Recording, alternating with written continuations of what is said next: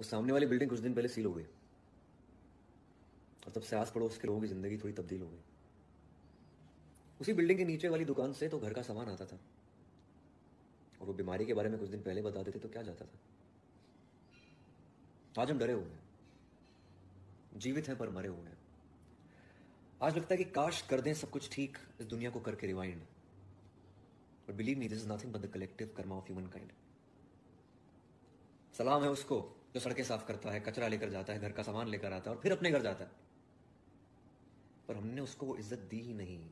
हम पैसे वाले हमारे बाप का क्या जाता है? और वो बेचारा डरता है कि कोरोना वायरस उसके परिवार को ना हो जाए, वो अपने बच्चे को छू नहीं पाता है। ये अमीर गरीब का इंसानियत से परे का नाता है। इस देश को गरीब ही चलाता था, गरीब ही चलाएगा। हमें समय भी सब सुविधाएँ गरीब ही दिलाएगा। जब ये सब ठीक हो जाएगा ना तो लोगों को इज़्ज़त देना। कोई काम छोटा नहीं होता, ये बात अपने पल्ले बाँध लेना। आज डॉक्टर, नर्सेस, पुलिस, हमारा सिक्योरिटी गार्ड है सबसे ज़्यादा काम के।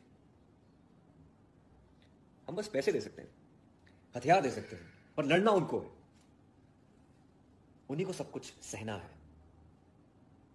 हमको तो सिर्फ़ घर पे रहना है।